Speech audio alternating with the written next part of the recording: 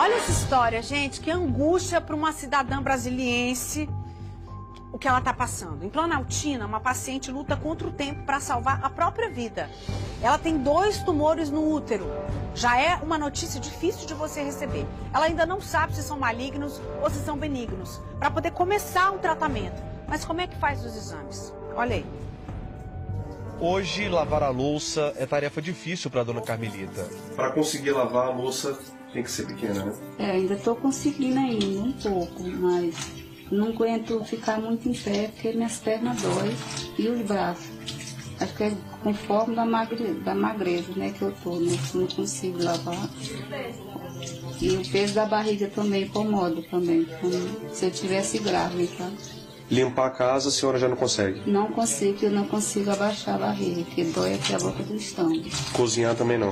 Cozinhar pouquinho a hora, porque não consigo ficar em pé. A vida mudou de repente aos 54 anos. Tudo ia bem até Dona Carmelita sentir dificuldade de ir ao banheiro. A vontade de comer desapareceu quando se alimentava, passava mal. O pessoal come, Carmelita, tem que comer. Eu falei, mas não consigo comer. Como é que eu vou comer se tudo que eu como eu vomito? Dona Carmelita procurou um centro de saúde do plano piloto, foi encaminhada ao Agarram, depois para o Instituto Hospital de Base, onde veio o diagnóstico após uma bateria de exames. Carmelita está com dois tumores no útero. A gente pensa que nunca vai dar na gente, né? Só dá só nos outros, né?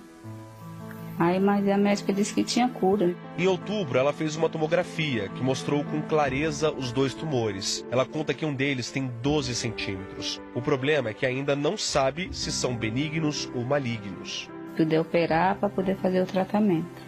Na quarta-feira está marcada uma consulta no Instituto Hospital de Base. Os médicos vão avaliar o resultado da última tomografia. Só aí vai ser possível indicar o tratamento e a possibilidade de retirar os tumores.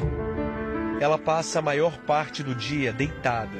Para levantar, precisa da ajuda da filha Raquel, que veio do interior do Piauí para ajudar a mãe. Dona Carmelita reclama das dores e a barriga está inchada por causa da doença. Não faço mais nada. Nem tomar banho quase não estou conseguindo mais, porque não aguento abaixar me fregar, não. Só morre, jogo água e pronto. Difícil, né, gente? Oh, meu Deus do céu. A pessoa não pode mais chegar no fim da vida e ter nenhum tipo de doença ou de contratempo de saúde se não tiver uma segurança.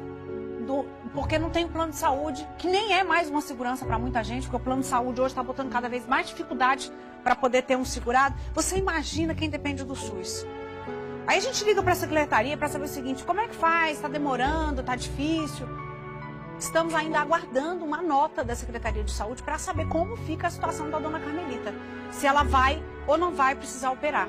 De qualquer forma, estamos aqui a postos, esperando a consulta de quarta-feira, o, o, encaminhamento de tudo isso. Mas a gente está fazendo força aqui. Eu queria pedir para você que está nos assistindo agora, para a gente fazer uma corrente de oração e pedir pela dona Carmelita para que essa senhora volte a ter saúde, que a verdade vem, ela quer saber o que, que ela tem e como é que ela pode tratar. Ela precisa de assistência. E isso daí não é para daqui a seis meses, não, gente, é para amanhã. Então, por favor, vamos fazer uma corrente aí por ela, porque é assim que a gente tem que fazer hoje. A gente tem que ir além.